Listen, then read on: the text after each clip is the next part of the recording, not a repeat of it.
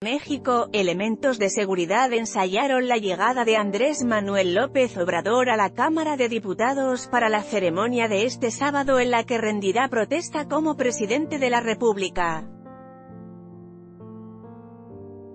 En camionetas llegaron al Palacio Legislativo los representantes del equipo de transición y militares, para precisar cómo se deberán acomodar las comitivas y por dónde pasará el próximo mandatario federal. La puerta principal ubicada sobre Congreso de la Unión fue abierta para iniciar desde ahí la entrada no solo del presidente electo sino también de los invitados internacionales.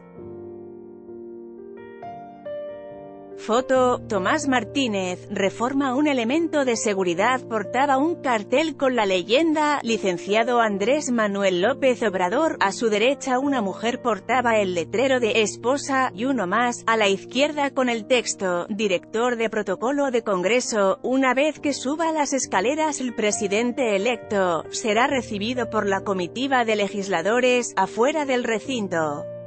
A la entrada, en el vestíbulo del edificio antes de pasar por las puertas de cristal hacia el salón de plenos, López Obrador hará un saludo a la bandera nacional, para ello se requirió la presencia de cadetes, aunque no traían el lábaro patrio al momento del saludo.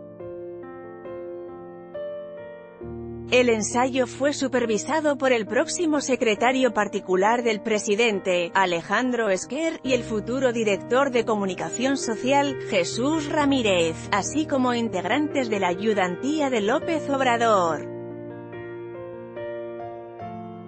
Al pendiente, viendo todo, también estaba uno de los choferes del próximo presidente, Roberto Rojas.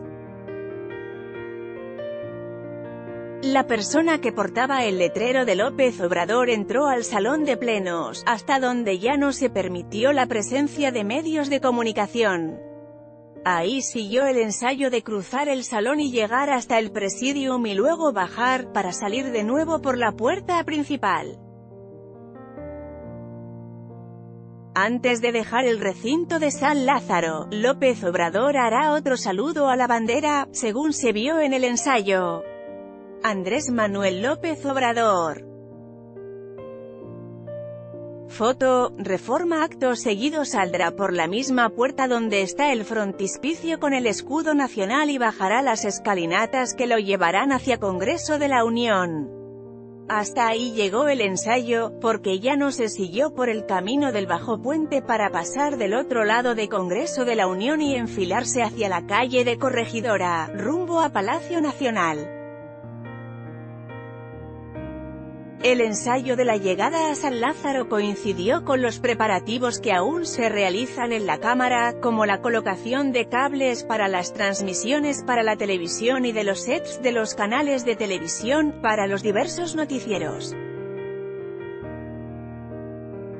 Todo ello pasaba del lado de San Lázaro, mientras que en la calle de Corregidora ya no se permitió la colocación de puestos ambulantes e inició la limpieza de las aceras. En esta nota,